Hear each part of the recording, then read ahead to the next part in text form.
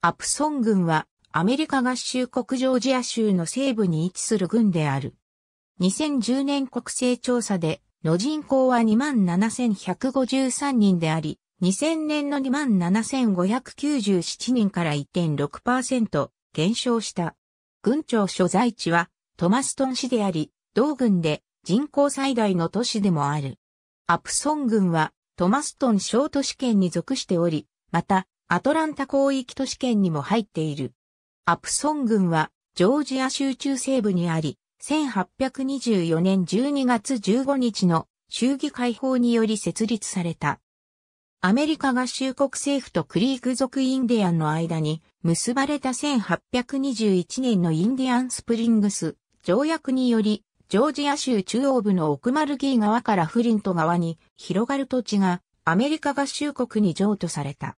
軍域はパイク軍とクローフォード軍の一部を合わせて作られた。土地を獲得するために使われた抽選方式によって多くの開拓者がこの地域に引き付けられた。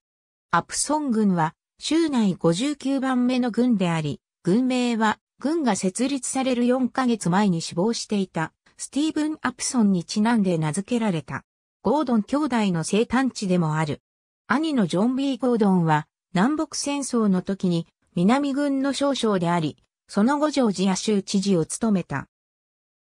弟の友人シー・ゴードンは南軍アラバマ騎兵隊の少佐であり、ディケーターの町を開発した。1825年3月、下級裁判所の判事が軍庁舎と監獄を建設するために、第10地区、第217区画の土地を購入した。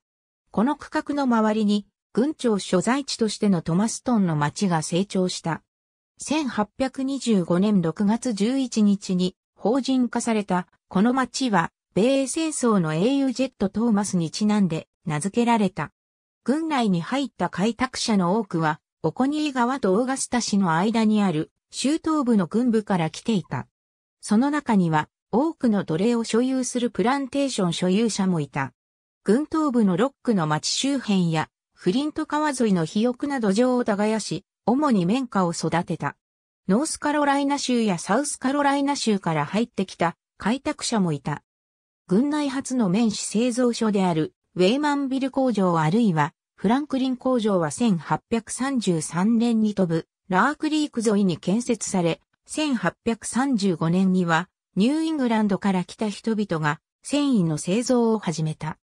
オーガスタ市とコロンバス市の間にあった駅馬車と荷車台の道である旧アラバマ駅馬車道路が郡北東部を通り、南西部のオーチャンプキー、屋根付け橋のダブル橋でフリント川を渡った。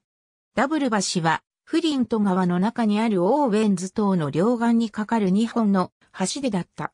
ここでは南北戦争の時に騎兵隊の小戦闘が起きた。1865年4月18日、北軍襲撃隊がアプソン軍で3日間の破壊を始めた。ジェームズ・ハリソン・ウィルソン少将の騎兵隊がメイコン市に向かっていた。その任務は南部にある農業や工業の施設を破壊することだった。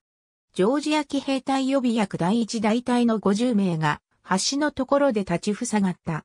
この部隊は大部隊の北軍に対して何度か発砲した後に逃亡した。家屋が略奪されて焼かれ、ウェイマンビルメンシュ工場などいくつかの工場が破壊された。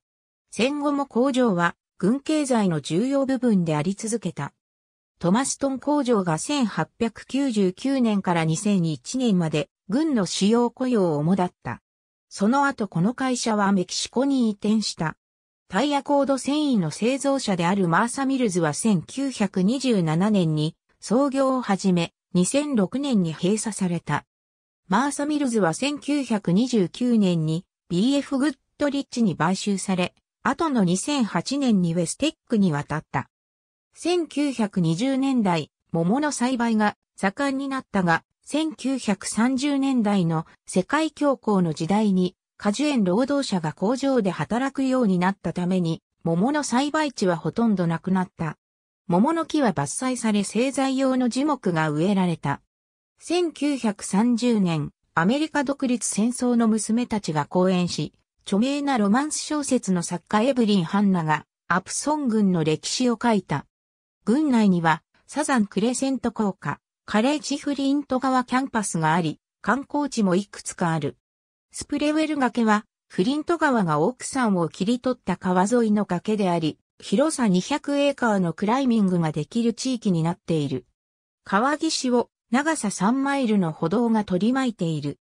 スプレウェル崖州立公園は、広さ1372エーカーの釣り、ハイキング、ピクニック、蹄鉄投げ、バレーボールができる公園である。軍南東部にある、オーチャンプキー屋根付き橋は1892年に、架けられた橋の正確な複製である。元の橋は1994年に、州内を襲った洪水で流された。連邦政府の災害援助金によって、屋根付き橋の工芸家アーノルド・エム・グラトンが橋を再建できた。アメリカ合衆国国勢調査局によれば、軍域全面積は327.64平方マイルであり、このうち陸地325.48平方マイル、水域は2.15平方マイルで、水域率は0.66%である。アプソン郡の夏は州内でも最も湿度が低くなる。アメリカ国道ジョージア州同以下は2000年の国勢調査による人口統計データである。ありがとうございます。